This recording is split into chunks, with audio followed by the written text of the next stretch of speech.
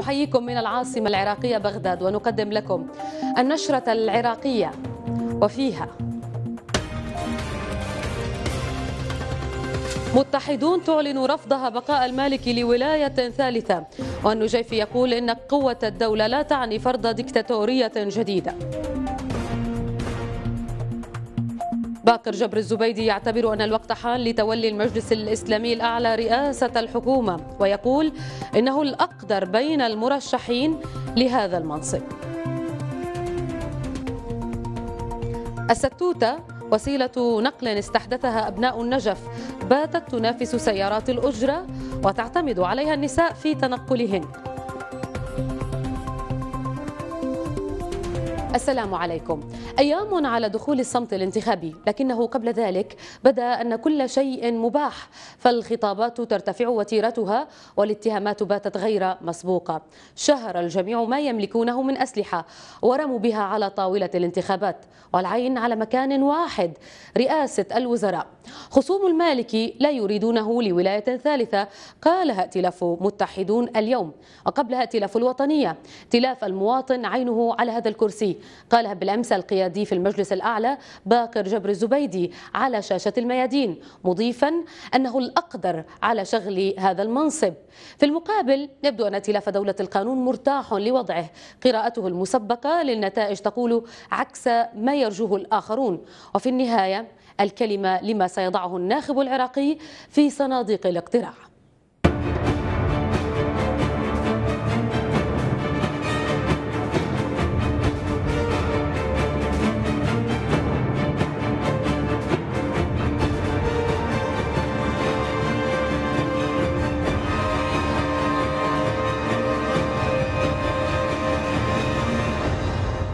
وقبل الدخول في تفاصيل النشرة العراقية نتوقف مع موجز لأهم وآخر الأخبار مع الزميلة هبة محمود. تفضلي هبة. شكرا لك رامية أهلا بكم. بحث المبعوث المبعوث الخاص للرئيس الروسي إلى الشرق الأوسط ميخائيل بغدانوف في موسكو. مع القيادي في الجبهة الشعبية للتغيير والتحرير السورية المعارضة قدر جميل الوضع في سوريا. بيان للخارجية الروسية أشار إلى أن الطرفين بحثا تطورات في سوريا وسبل تسوية الأزمة فيها بأسرع وقت. رأى وزير الداخلية اللبناني نهاد المشنوق أن الهدف من الخطة الأمنية في بلدة الإطفال الحدودية مع سوريا هو حماية أهلها من احتمال اندلاع اشتباكات بين الجيش السوري والمسلحين. يأتي ذلك فيما وصلت قافلة المساعدات الإنسانية والغذائية إلى البلدة وتوقفت العناصر الأمنية في بلدة رأس الحرف المحاذية للإطفال بحسب مراسلنا. ظهرت في الآونة الأخيرة شعارات داخل مدينة الطائف السعودية تؤيد تنظيم الدولة الإسلامية في العراق والشام وتؤكد تمدده في المملكة. الشعارات شهدت على جدران مؤسسات الأحوال المدنية والجوازات والمباحث العامة. الجدير ذكره أن عددا كبيرا من السعوديين يقاتل مع التنظيم في سوريا كما أن سلطات المملكة سبق وصنفت داعش ضمن التنظيمات الإرهابية. في اغتيال هو الثاني خلال 24 ساعة قتل النائب الصومالي عبدي عزيز إسحاق مرسال بالرصاص اليوم في مقديشو. هذا الحدث يأتي غداة اغتيال النائب إسحاق محمد علي وإصابة زميله محمد عبدي بانفجار عبوة ناسفة زرعت في سيارة أحد النائبين في العاصمة مقديشو. رأى رئيس الحكومة التونسية مهدي جمعة أن الوضع الأمني سيتحسن في ظل جهود قوات الجيش في مكافحة الإرهاب وملاحقة الإرهابيين في جبل الشعانبي وفي افتتاح المؤتمر الوطني للحوار الاقتصادي أعلن جمعة أن حكومته ستعمل على تنقية الأجواء لضمان حسن تنظيم الانتخابات المقبلة من دون المشاركة فيها. حذر نائب الرئيس الأمريكي جو بايدن روسيا من عزلة أكبر إذا لم تنزع فتيل التصعيد في أوكرانيا. بايدن وبعد لقائه رئيس الوزراء الأوكراني في كييف دعا موسكو إلى سحب قواتها على الحدود مع أوكرانيا والتوقف عن الكلام والبدء في العمل لتسليم المتشددين الانفصاليين الموالين لروسيا في شرق أوكرانيا على حد تعبيره. الآن نعود إلى العراق وراميه.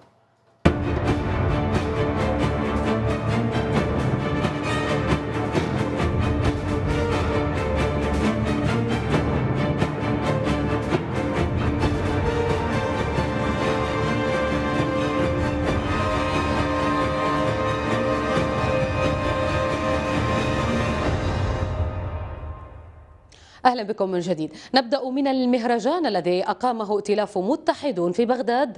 رئيس الائتلاف أسامة النجيب اتهم من أسماهم بالدكتاتورية الجديدة بالسعي لتحويل السلطة والجيش إلى قوة هدفها سحق الشعب. مؤكدا أن قوة الدولة إذا نعتذر عن هذا العطل التقني ونتابع النشرة. إذا آه، آه، نبدأ من المهرجان الذي أقامه ائتلاف متحدون في بغداد. فرئيس الائتلاف أسامة النجيفي اتهم من سماهم بالدكتاتورية الجديدة بالسعي لتحويل السلطة والجيش إلى قوة هدفها سحق الشعب. مؤكدا أن قوة الدولة تعني شراكة الطيف العراقي. فيما أكد رئيس قائمة بغداد في ائتلاف متحدون ظافر العاني أكد رفضهم بقاء رئيس الوزراء نوري المالكي لولاية ثالثة. أن قوة الدولة لا تعني دكتاتورية جديدة. ولا تعني دولة حزب واحد وشخص واحد وطائفة واحدة وجهة واحدة. إنما تعني أن تكون إرادة الشعب هي السلطة الأعلى من جميع السلطات وأن جميع السلطات برؤسائها ووزرائها ومسؤوليها موظفون عند الشعب منفذو سلطته ومطيعو إرادته وليسوا حكاما عليه. يحولون سلطة الشعب إلى فرمانات تمحق حريته وتستعبده وتذله وتغيبه في السجون والمعتقلات وتقتله نهارا جهارا في سكنه وعمله ومسجده. قوة الدولة تعني شراكة الطيف الوطني بمؤسساته التشريعية والقضائية والتنفيذية. وها هي بغداد في برنامجنا تقول اليوم بلسان دجلتها وشواطئه لا ولاية ثالثة للاستبداد باسم مجالسها الفكرية ونواسها وشارع متنبيها لا ولاية ثالثة لعصر التخلف والجهل. من جهته قال القيادي في المجلس الأعلى الإسلامي باقر جبر الزبيدي والمرشح عن قائمة المواطن قال إن الوقت حان لتولي المجلس الأعلى رئاسة الحكومة مشيرا في لقاء عبر حديث العراق على شاشة الميادين إلى أن حزب الدعوة تسلم الرئاسة لثلاث دورات متتالية ويجب أن تولى لغيره في هذه الدورة. بالنتيجة أعتقد أن الدور جاء للمجلس الأعلى هذا واحد. اثنين مع ما حصلنا عليه من نتائج كبيرة في مجالس المحافظات آه، يعطي الضوء الأخضر للمجلس الأعلى لكي يتقدم ليحصل على هذا المنصب ليقدم الخدمة للشعب العراقي. ما نمتلكه من من قدرات وقابليات نجحت في وزارات متعددة. آه، لأعضاء في المجلس الأعلى آه، كذلك يعطينا الفرصة. كذلك البرنامج الذي قدمه المجلس الأعلى وائتلاف المواطن برنامج متكامل شامل يقدم الخدمات إلى المواطنين وتبقى الكلمة الأخيرة للشارع العراقي. وحول الأسماء المطروحة لرئاسة الحكومة من قبل ائتلاف المواطن قال الزبيدي إن هناك عددا من المرشحين لكنه الأقدر على تولي هذه المسؤولية. لهذه المعطيات التي ذكرتها الدكتور أحمد الشلبي أقدر؟ لا لا أنا لا أقول من هو الأقدر. الأقدر من وجهة نظري الشخصية طبعا آه، أعتقد أنا الأقدر لكنه ليس بالضرورة أن نقول أنا المرشح. تزداد حماوة الدعاية الانتخابية في البصرة وتتقاطع رغبات المواطنين بواقع خدمي أفضل للمحافظة بعدما استتب الأمن فيها. مفادنا إلى هناك حازم كلاس زار عددا من المرشحين واستطلع آراء الشارع البصري وعاد بالتقرير الآتي. مزدحمة بالسيارات واليافطات. هكذا تبدو ساحات البصرة قبل أيام على الاستحقاق الانتخابي. أكثر من 700 مرشح. هنا من أكثر من 25 كيانا سياسيا نشروا صورهم وأطلقوا وعودهم للحصول على 25 مقعدا في برلمان العراق. التقينا بعضهم وبين هجوم ودفاع. سمعنا اتهامات متبادلة. تقصير احسه موجود بشكل كبير بس الأحزاب اللي بدها تحكم بدها تغطي على على المسؤولين اللي موجودين ومتى ما خلصنا من هذه التبعية الحزبية أو هاي الأثنية اللي يخضعون لها أعتقد راح نقدر ننجح بعملنا. عندنا مثل دائما اللي يبيع عيب حتى يغطي على عيبه يتهم به الآخرين. لكن الشعب العراقي واعي ولذلك نعتقد القائمة الأكثر وأوفر حظا بأصوات العراقيين هي قائمة ائتلاف القانون وسنتحدى الآخرين إذا جاءوا بنصف عدد مقاعد دولة القانون. توجهات الأحرار هو الانفتاح على الجميع بغض النظر عن الاتجاهات الطائفية أو القومية أو العرقية. وسط هذه الأجواء الانتخابية الحامية حماوة طقس جنوب العراق نزلنا إلى الأسواق. أكثر من 80% ممن يحق لهم الاقتراع تسلموا بطاقاتهم الانتخابية. تتنوع الآراء هنا لكنها تتقاطع عند ضرورة الالتزام بوعود جعل البصرة عاصمة العراق الاقتصادية وهي التي تسهم بأكثر من 70% من ميزانية العراق. نتمنى كل كل مرشح إنه الوعود اللي يطلقها إنه ينفذها مو مجرد إنه وعود فقط يعني. لا اريد كرسي ولا اريد شيء.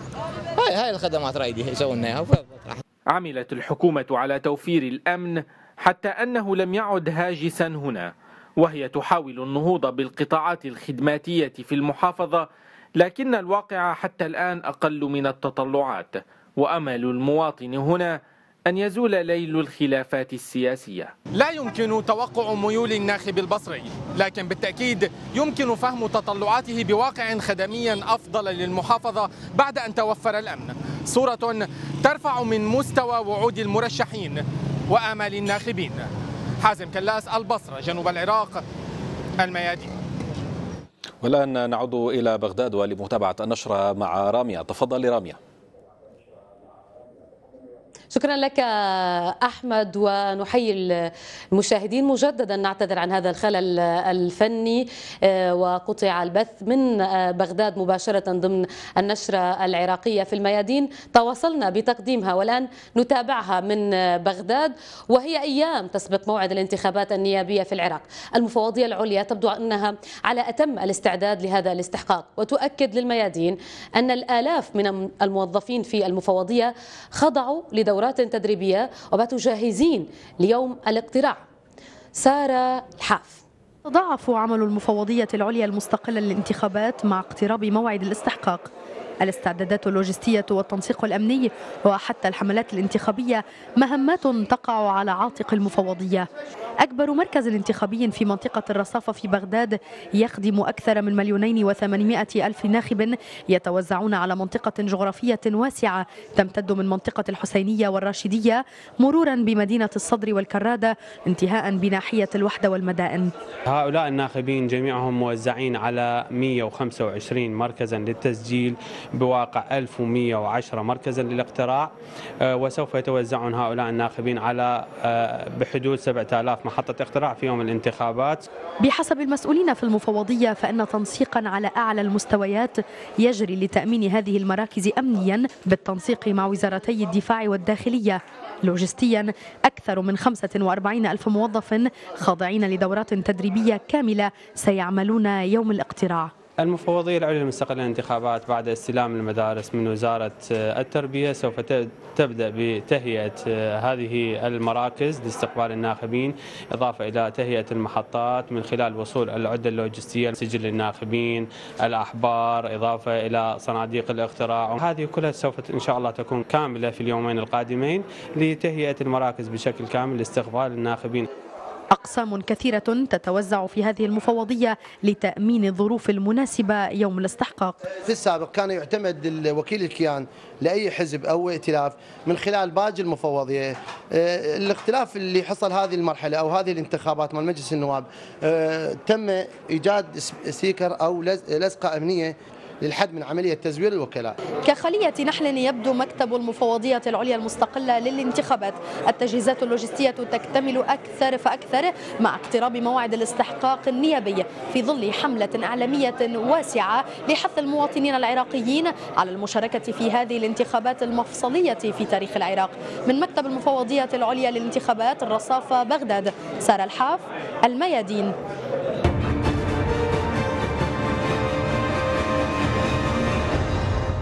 وللمعرفة أكثر عن تطورات المشهد الانتخابي وأيضا بما يتعلق بالإجراءات الأمنية. ينضم إلينا مراسل الميادين عبد الله بدران هو معنا من حي الكرادة في العاصمة العراقية. قبل أن أبدأ معك عبد الله بما يتعلق بتطورات المشهد الانتخابي والاستعدادات آه، للمفوضية الحدث الأمني يفرض نفسه قبل قليل.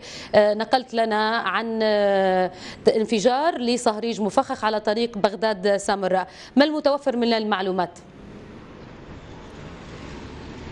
نعم رامية العمليات التي تنفذها داعش كانت الاستخبارات العراقية قد حذرت منها ونبهت إليها من أنها تهدف لقطع أوصال المدن الرئيسية التي تشن فيها عمليات في الأنبار غرب العراق. صهريج مفخخ يستهدف الجسر الرابط بين سامراء في محافظة صلاح الدين والفلوجة في محافظة الأنبار ويبدو أن ذلك كله في ضمن العمليات التي تقوم بها داعش لمحاولة عرقلة العمليات الأمنية لمطاردتها. طبعا الأنباء الأولى التي وردتنا من أن أن هناك انهيار في يعني الجسر تسبب به الصهريج المفخخ وأن هناك ضحايا سقطوا من حاجز التفتيش الذي استهدف فعليا بالصهريج الذي كان يقوده انتحاري. لكن لا يمكن إغفال أيضا العمليات النوعية التي نفذتها القوات العراقية. تأكدت لنا المعلومة من أن جهاز مكافحة الإرهاب تمكن من قتل قيس الراشدي. ويعتقد أنه سعودي الجنسية قيادي بداعش قتل أثناء محاولته دخول العراق من الجانب السوري عند منفذ القائم وقرية سيد أحمد. يعني هناك يعني محاولة فحص للدي إن اي للتأكد من أوراق الرجل أو هوية الرجل أو أنه إن كان مطلوبا لدى الجانب العراقي. كذلك يعني المعلومات لدينا بأن مدرسة المفيد في الفلوجة تم تفخيخها وتفجيرها بالكامل علما أنها كانت معتمدة قبل الوضع الساخن. في الأنبار والفلوجة معتمدة لدى مفوضية الانتخابات بأن تكون مركزا انتخابيا. نعم رامية. نعم. عبد الله فقط بالعودة لموضوع استهداف الجسور يبدو انه الموضوع ليس بجديد يتكرر بالعمليات. ما أهمية هذه الجسور؟ لماذا يتم استهدافها لربما أو التكرار باستهداف هذه الجسور؟ إلى أي حد يؤثر ربما على العاصمة العراقية بغداد خصوصا مع اقتراب الاستحقاق الانتخابي استهداف عدد معين من الجسور بهذه التفخيخات والمتفجرات نعم رابية المنطقة التي استهدفت اليوم بسهرج مفخخ تقع عند المثلث الذي يجمع حدود محافظات العاصمة بغداد والأنبار غرب العراق وصلاح الدين شمال العاصمة العراقية بغداد وهو طريق كانت القوات الأمنية قد شنت قبل ثلاثة أيام تقريبا عملية أمنية لتطهيره وإعادة الانتشار فيه. المنطقة هناك بيئة مجتمعية وحاضنة لتنظيم داعش. المنطقة تربط شمال العاصمة العراقية بغداد بشمالها. الغربي بمحافظات صلاح الدين ومحافظات نينوى وهو ذات الطريق الدولي الذي يربط بغداد بشمال العراق بكردستان وبالتالي العملية التي يعني قامت بها داعش هي ضمن سلسلة عمليات استهداف الجسور في قضاعانة وراوة وحديثة والأنبار. كذلك استهدفت الجسور بتفخيخ ركائزها. الهدف طبعا هو إبطاء تقدم القوات البرية العراقية التي تشارك في تطهير أقضية الأنبار. وبالتالي ربما الجيش العراقي بعد تحذيرات الاستخبارات السابقة من عمليات قطع أوصال هذه المناطق. اعتمد طريقة نقل المقاتلين العراقيين في الجيش والشرطة الاتحادية والجهاز مكافحة الإرهاب والاعتداء والسلاح طبعا عبر الطائرات إلى قاعدة الأسد وقاعدة الصقر وقاعدة المزرعة. أود أن أذكر هنا أيضا رامية معلومة وردتنا قبل قليل بعد أن عقد رئيس المجموعة الأمنية في السفارة الأمريكية في بغداد مؤتمرا صحفيا كان قد تحدث فيه عن أن تأخر تسليح طائرات الأباتشي يتحمله الجانب العراقي بحجة أن وزارة الدفاع العراقية لم توافق حتى الآن وأن نعم. السبب يتحمله الجانب العراقي في تحويل الأموال. والجدير بالذكر أنه قبل هذا الاتفاق هناك اتفاقية استراتيجية بين العراق وأمريكا في الجهد الأمني الحكومة العراقية ولجنة الأمن والدفاع البرلمانية حملت الجانب الأمريكي مسؤولية نعم. تأخر إيصال الأسلحة بالرغم من عمليات غرب العراق. نعم. طب تبقى معنا عبد الله والآن ننتقل إلى مدينة النجف الأشرف. من هناك تنضم إلينا موفدة الميادين زهراء الديراني. زهراء أبرز ما يمكن أن ننقله من تطورات المشهد الانتخابي في النجف إضافة إنه ربما معك ضيف أيضا ليطلعنا أكثر على هذه الاستعدادات. تفضلي زهراء. نعم. نعم رامية تشتد المنافسة في محافظة النجف مع اقتراب موعد الاستحقاق الانتخابي. تعلمين رامية أنه للنجف دور مهم وكبير في خارطة الأحداث العراقية نظرا للخصوصية الدينية والسياسية التي تتمتع بها. وهذا ما جعلها رقما مهما في عملية التغيير وفي إحداث التغيير. تبرز هنا في هذه المحافظة ائتلاف يبرز ائتلاف دولة القانون كأقوى الكتل المنافسة. وهذا الائتلاف كما بات معلوما هو بزعامة رئيس الوزراء نور المالكي. هناك أيضا ائتلاف الوفاء العراقي بزعامة محافظ مدينة النجف عدنان الزرفي. فكتلة فائتلاف المواطن بقيادة السيد عمار الحكيم وكتلة الأحرار المقربة من التيار الصدري بقيادة السيد مقتدى صدر. هذه أبرز الكتل التي تتصدر المشهد في النجف. كما بات معلوما وذكرنا في رسالات سابقة وفي تقاريرنا التي أفدناكم بها يتنافس هنا في هذه المحافظة أكثر من 300 مرشح. بينهم 80 امرأة تقريبا ليتنافسون لشغل المقاعد البرلمانية المخصصة للنجف وهي 12 مقعدا. أما بالنسبة للإجراءات الأمنية فمديرية شرطة النجف كانت قد وضعت خطة خاصة خطة أمنية خاصة لهذه المدينة ولموعد الاستحقاق الانتخابي. تعلمين أنه قبل أصلا الانتخابات هذه المدينة تخضع لإجراءات أمنية نظرا إلى توافد الآلاف الزوار إليها سنويا. ومعي أكثر للاطلاع على آخر الاستعدادات والإجراءات الفنية واللوجستية. معي المدير عام المفوضية العليا للانتخابات في النجف السيد سعد العبدلي. سندعه يطلعنا أكثر عن هذه الاستعدادات. أهلا وسهلا بك سيد سعد. ما هي أبرز استعداداتكم؟ وأين أصبحتم في هذه الاستعدادات الفنية واللوجستية والأمنية المتعلقة بيوم الاستحقاق الانتخابي نعم بسم الله الرحمن الرحيم. أكمل مكتب انتخابات النجف الأشرف للمفوضية العليا المستقلة للانتخابات.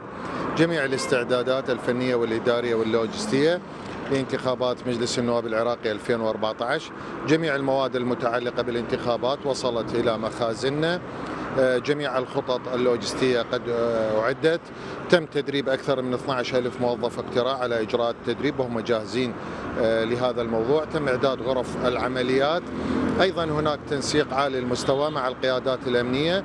جميع الخطط الأمنية تم إجراءها وبدأ تنفيذ جميع الخطط لحماية مراكز الاقتراع اللي يبلغ عددها 323 مركز اقتراع عام و18 مركز اقتراع. إن شاء الله سوف تكون مخصصة لما يقارب من 796 ألف ناخب في محافظة النجف الأشرف منهم 27 ألف ناخب للتصويت الخاص. هذه المراكز ستضم أكثر من 2000 محطة اقتراع وسوف تستخدم تقنية جديدة في هذه الانتخابات. هي عبارة عن البطاقة الإلكترونية للناخبين وأجهزة التحقق الإلكترونية التي سوف تكون موجودة في جميع المحطات الألفين. نعم بالنسبة للخروقات هل سجلتم خروقات في محافظة النجف؟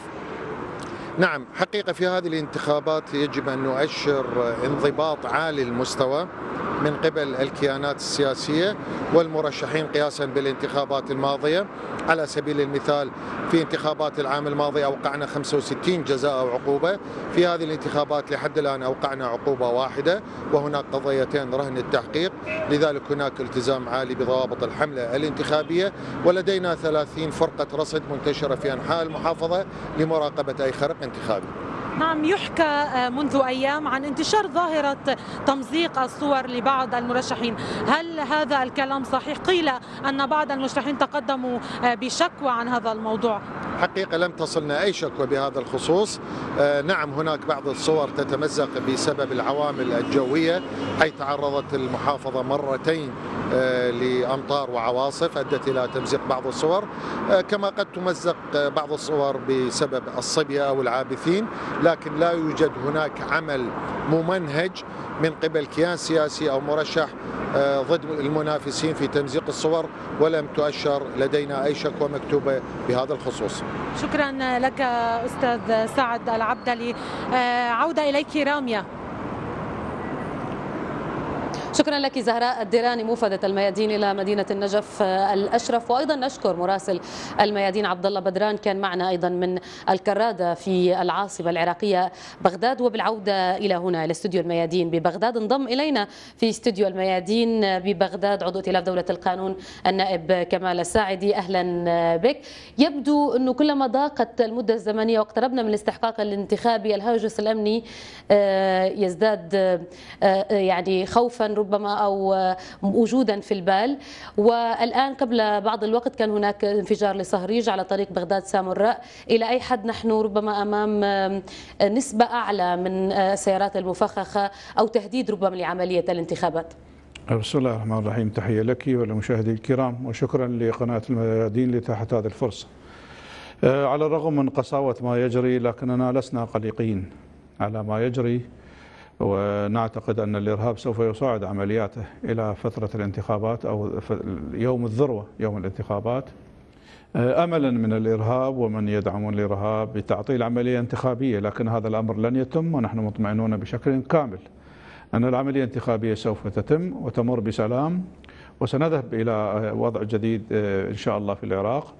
آه، الإرهاب ليس جديد في العراق. لديه أجندة آه، ويعلم الشعب العراقي كيف يفكر وكيف يتحرك لكننا مطمئنون بشكل كامل أن لا شيء يحدث تغيير جوهري كما يفكر الإرهاب ستمر الأمور بسلام بإذن الله. وهناك اطمئنان أنه ذلك لن يؤثر على مزاج الناخب العراقي أو حتى دافع بأن يشارك بالعملية الانتخابية. اطلاقا أنا يوميا ألتقي بعشرات من المواطنين ونسمع منهم إصرار هو أفضل مؤشر لدينا لتأكيد هذا الكلام هو استلام البطاقة الانتخابية. م. لم نكن حتى نحن نتوقع أن الشعب العراقي سوف يقبل على استلام البطاقة الانتخابية بهذا العدد.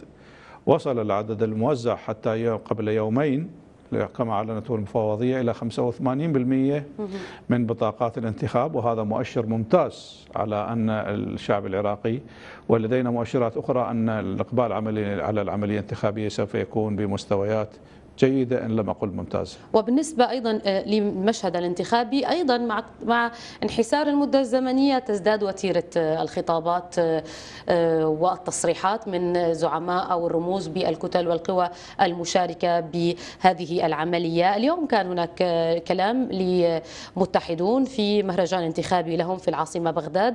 رئيس الائتلاف السيد أسامة النجيفي وهو أيضا رئيس مجلس النواب العراقي. قال كلام عالي المستوى وإن لم يذكر آه، السيد نور المالكي لكنه وجه الكلام إليه بشكل آه، مباشر والإصرار على موضوع الدكتاتورية كيف تعلقون؟ هذا الخطاب ليس جديد م.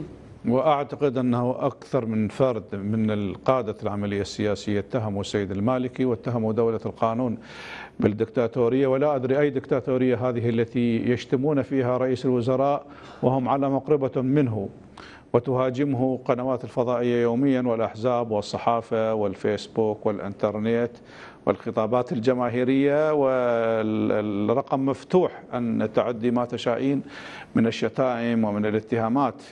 آه، أعتقد فكرة الدكتاتورية فكرة أصبحت سخيفة. لا تستحق أن يعلق أحد على أن هنالك دكتاتورية بالعراق لأن الأجواء مفتوحة للجميع. وخير دليل أن الانتخابات الآن لدينا تسعة آلاف ونيف من المرشحين. أين الدكتاتورية أيها السادة؟ عندما يتقدم هذا العدد الهائل من المرشحين وهذا العدد الهائل من الكيانات وهذا العدد الهائل من الفضائيات والإعلانات هذه يراد منها الإساءة إلى سمعة السيد رئيس الوزراء والتأثير على الناخب العراقي أعتقد أن المواطن العراقي يدركها جيدا. طيب فقط يعني ذكرت جزئية مهمة يجب التركيز عليها هو ما يتعلق بالإعلام، يعني أنت تربط أنه آه، أين يوجد الدكتاتورية طالما يوجد توجد هذه الفسحة الكبيرة آه، عبر الإعلام إن كان قنوات فضائية عراقية أو آه، غيرها داخل العراق تعمل ويتم نقد الحكومة أو شخص رئيس الوزراء عليها بمطلق الحرية هذا ما قصدته؟ هذا مؤشر من المؤشرات، م. أنا طرحت مجموعة من المؤشرات. هذا أحد المؤشرات. وهذا والبعض يعتبره نوع من عدم التنظيم يعني قنوات كثيرة وإعلام غير يعني لا يوجد له ضوابط إن كان بالطرح للحملات الانتخابية أو حتى بالطرح. يعني البعض يعتبره نقطة سلبية وليست إيجابية. هذا من ناحية فنية صحيح. يعني من ناحية استغلال الحرية. وعلى العكس عدم التنظيم يدل على أن الحرية أكثر آه، مما آه، يفترض. لأنه الحرية لا تعني أنني أشتم الآخرين ولا تعني أنني ألجأ إلى السباب ولا تعني ألجأ إلى الكذب كما يفعل البعض. لكن أيضا يبقى ذلك مؤشر على أن المجال مفتوح إلى أكثر مما هو حرية وحتى إلى الشتيمة. وأعتقد أعرق البلدان الديمقراطية لا تسمح آه، لمرشح أو قناة يعني كما تفعل بعض القنوات أن تصل إلى درجة الابتذال في طرحها. لذلك آه، قد نختلف ونتفق مع أو نتفق مع بعض الفضائيات وبعض الإعلاميين. لكن لا أتفق ابدا مع من يقول أن هنالك قمع للحريات أو للرأي في العراق. هذه النقطة المهمة لذلك ركزت عليها لأنه يقول استخدام الدكتاتورية الجديدة بالسعي لتحويل السلطة والجيش إلى قوة هدفها سحق الشعب وهنا الارتكاز، لذلك ركزت على هذه النقطة، لكن النقطة الأهم هي التي تحدث عنها السيد ظافر العاني المرشح الأول في متحدون في العاصمة بغداد أنه الرفض لولاية ثالثة بالنسبة للسيد نوري المالكي. دعيني أقول شيئا واحدا. لا يستطيع أي جهة سياسية في هذه اللحظة أن تقرر أنها ترفض أو تقبل بصراحة شديدة. عندما تفرض صناديق لاقتراع النتائج حينها سيكون كل طرف سياسي لديه حساباته في تشكيل الحكومة. وسيتحول الرفض إلى قبول أو القبول إلى رفض على العكس. ما الذي يحكم ذلك؟ فقط نتائج مجموعة الانتخابات مجموعة من العوامل. تغير مجموعة من العوامل بتغير المزاج الناخب عدد الأصوات أو عدد المقاعد شكل التحالفات وغيرها. لذلك أنا أتمنى أن لا يقول أحد ذلك لأنه قد يغير رأيه في يوم ما وحينها سيكون في حرج أمام نفسه وأمام الآخرين. أنا لا أعتقد أن هنالك كتلة سياسية في العراق أو في العمل السياسي بشكل عام تستطيع أن تقول أنني سأرفض بشكل مطلق التحالف مع هذا الطرف أو ذاك. ونتابع أيضا الستوتة تنافس سيارات الأجرة في العراق. يعتمد عليها معظم أبناء النجف لا سيما النساء منهم. آه، الزميلة زهراء ديراني آه، ركبت إحدى هذه آه، السيارات الستوتة وأيضا أعدت تقرير عنها. نتابعه سوية. الستوتة. تكسي الفقراء في العراق ولا سيما في النجف. وسيلة النقل هذه طريفة وغريبة مثل اسمها تماما. مستوحى من كلمة الست نظرا إلى كثرة استخدامها من قبل النساء. بدأت تنتشر في العراق عام 2003 تشق الستوتة شوارع النجف تسابق وسائل النقل الأخرى برشاقة تحمل على ظهرها الركاب والبضائع وتصل إلى مقصدها بأقل وقت وبأجر زهيد. شوية الستوتة رخيصة وتوصلنا بالعجل أهلنا يم المطار ورخيصة بس شوية الطريق عسر إي والله شوية الطريق صعدة ونزلة. المناسبات في المقبرة أه بدل ما ناخذ تاكسي وشارع مسدود. هاي ماك يعني مكانات آه، مقطوعة تطبيها ماك عرقلة اللي تعرقل السير. خففت وسيلة النقل هذه من وطأة زحمة السير على أهل النجف بسبب الإجراءات الأمنية وباتت الخلاص للمئات من شبح البطالة. الحمد لله والشكر. طالع الخبزة و... ماشي يعني لا نقول لواحد طينه ولا أقول هذا. وتشوفنا. هاي الستوتات هاي كلها واقفة على مود عيشتها. وإحنا بتعرف التالي الناس كلها كسبه عندها عوائل وما عندنا يعني ناس فقرة. يعني اللي قاعد بلا جار اللي يعني عائله برقبته كبيره واللي جاي دبر الواحنا حصلنا 10 15 طلع عوالنا. الستوته وإن كانت الحل السحرية لفقراء المدينة إلا أنها نغصت حياة الكثيرين فيها. تلقي يزابق بالشارع أو يحط رجله على هذا على على الكشين ويرفع رجله لفوق ويمشي يشوف على النفق وما نفق. العراق ليس البلد العربي الوحيد الذي اجتاحته الستوتة ففي سوريا تسمى بالطراطيرة أما في مصر فيطلقون عليها اسم التوك توك. من النجف زهراء الديراني الميادين.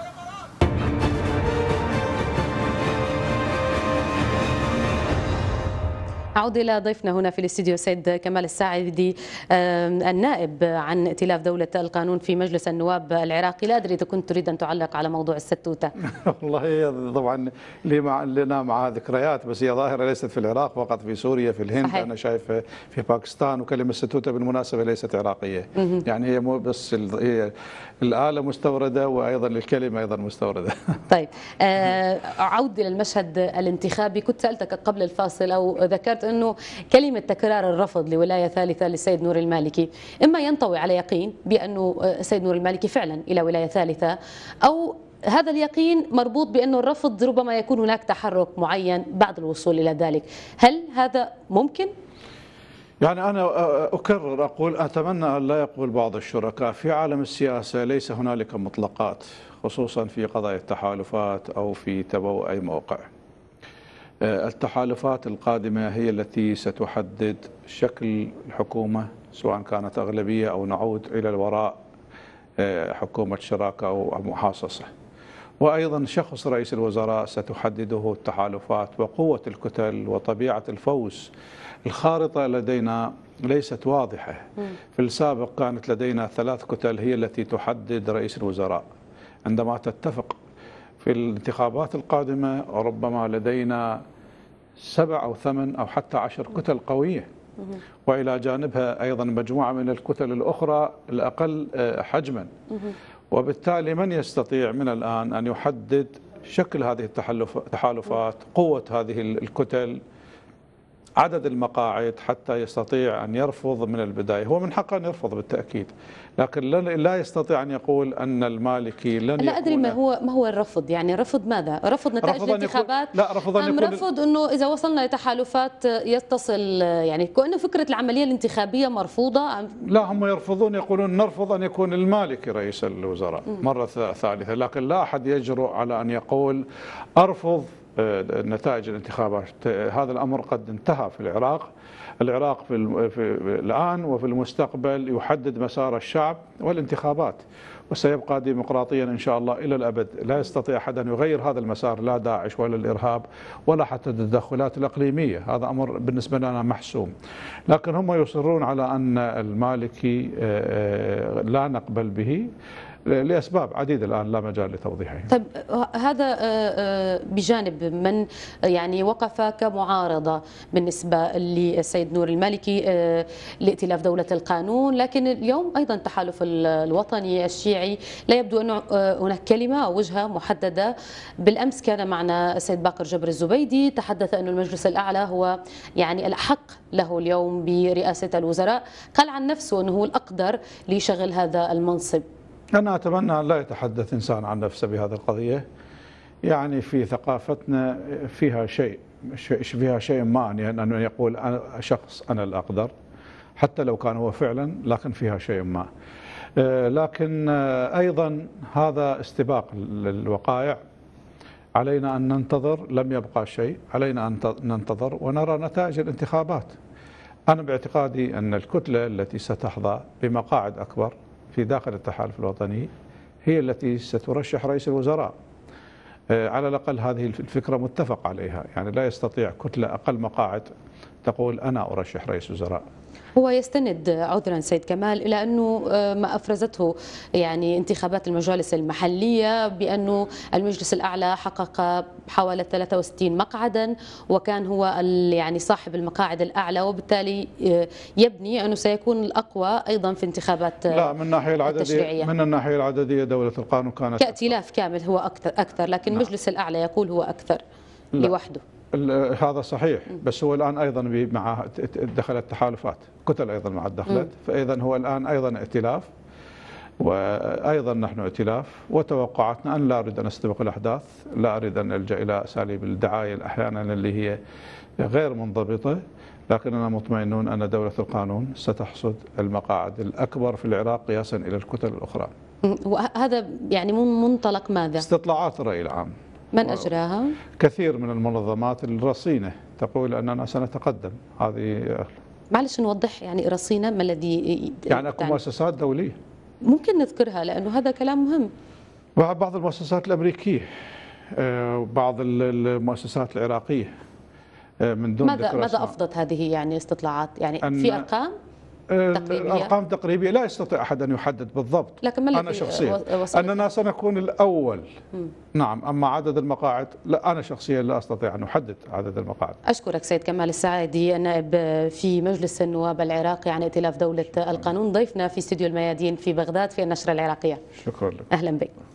والآن إلى شمال العراق حيث حذرت أحزاب المعارضة الكردية من حصول عمليات تزوير وتلاعب بأصوات الناخبين من قبل الحزبين الحاكمين في الإقليم خلال الانتخابات. طالبت المعارضة الكردية الحكومة العراقية والمنظمات الدولية بالتدخل لضمان شفافية هذه الانتخابات. المعارضة الكردية تواصل التنديد بما تقول إنها عمليات التزوير رافقت انتخابات برلمان إقليم كردستان في أيلول سبتمبر الماضي وهي اليوم. تحذر من سيناريو قائم على استغلال أحزاب السلطة لمراكز نفوذها للتأثير على الناخبين في ظل إجراءات لمفوضية الانتخابات لم تقنع أحزاب المعارضة. هذه البطاقة الإلكترونية أيضا عليها مآخذ كثيرة لأن الأموات لم يخرجوا من سجل الناخبين وهناك بطاقات مكررة بأعداد كبيرة. نطالب الحكومة العراقية أولا آه، مراقبة ال- ال- الكيانات السياسية. أحزاب السلطة في الإقليم رفضت هذه الاتهامات رامية الكرة في ملعب المفوضية التي رفضت بدورها أي تشكيك بإجراءاتها. كل ما المفوضية تقوم بعملها بشكل جيد وبشكل قانوني كل ما آه، يعني تنطي شفافية لأعمالها اللي تقوم بها أثناء الانتخابات وأثناء فرز الأصوات. اللي عنده بطاقة إلكترونية واسمه موجود بالمحطة يقدر يصوت ويبصم. واللي ما عنده بطاقة إلكترونية ما يقدر يصوت. فهذا يعني أكثر شيء يعني يضمن للكيانات بأنه ما يصير عملية التلاعب. وجود معارضة بات أمرا واقعيا في إقليم كردستان. معارضة تقول إن حظوظها في الانتخابات لا تقل عن حزبي بارزاني وطالباني اللذين كانا يستحوذان على 42 مقعدا في البرلمان العراقي مقابل 14 مقعدا لحركة التغيير والأحزاب الإسلامية الكردستانية. ويرى مراقبون أن سهام الاتهامات التي أطلقتها المعارضة نحو مفوضية الانتخابات والأحزاب الحاكمة تفتح جدلا قد لا يسدل ستاره حتى إعلان النتائج. محمد كريم أربيل الميادين.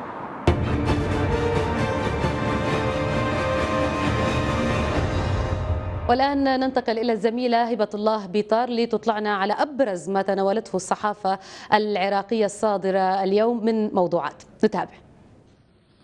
السلام عليكم مشاهدينا. نستهل هذه الجولة من صحيفة البيان وجاء في عنوانها الأول المفوضية تنهي استعداداتها للانتخابات النيابية. افتتاح 100 مركز انتخابي ومركزين في 19 دولة. أيضا في صحيفة البيان تظاهرة تركية ضد قرار إقليم كردستان بحفر خندق على الحدود السورية. من صحيفة البيان ننتقل إلى صحيفة الزمان ونختار من عناوينها صحيفة فرنسية.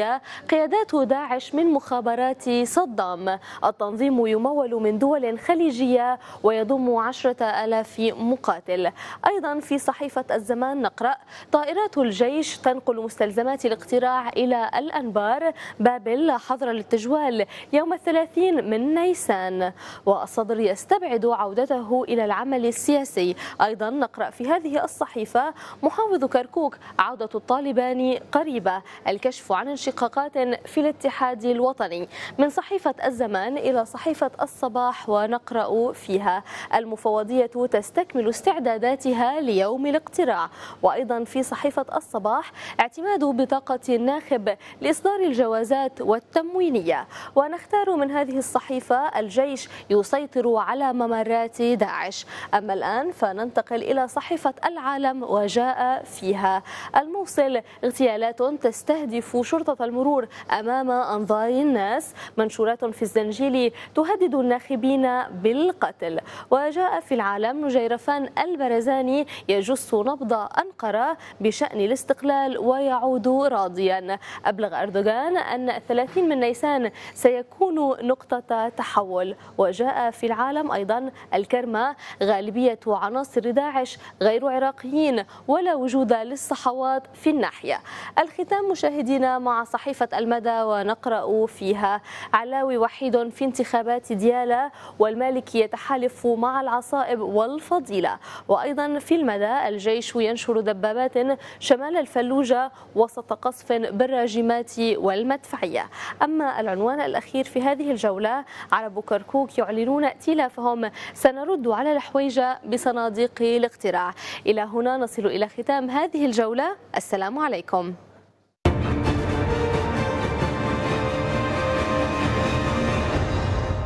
وفي ختام النشرة العراقية تذكير بعناوينها. متحدون تعلن رفضها بقاء المالكي لولاية ثالثة. والنجيفي يقول إن قوة الدولة لا تعني فرض ديكتاتورية جديدة. باقر جبر الزبيدي يعتبر أن الوقت حان لتولي المجلس الأعلى رئاسة الحكومة ويقول إنه الأقدر بين المرشحين لشغل هذا المنصب. الستوتة وسيلة نقل استحدثها أبناء النجف باتت تنافس سيارات الأجرة وتعتمد عليها النساء في تنقلهن. لكم التحية من طاقم الميادين من هنا من العاصمة العراقية بغداد. نلقاكم عند السابعة بتوقيت القدس الشريف في حلقة جديدة من حديث العراق. نستضيف فيها الشيخ قيس الخزعلي الأمين العام لعصائب أهل الحق. يقدم هذه الحلقة من حديث العراق الزميل عبد الله شمس الدين. إلى ذلك الوقت السلام عليكم.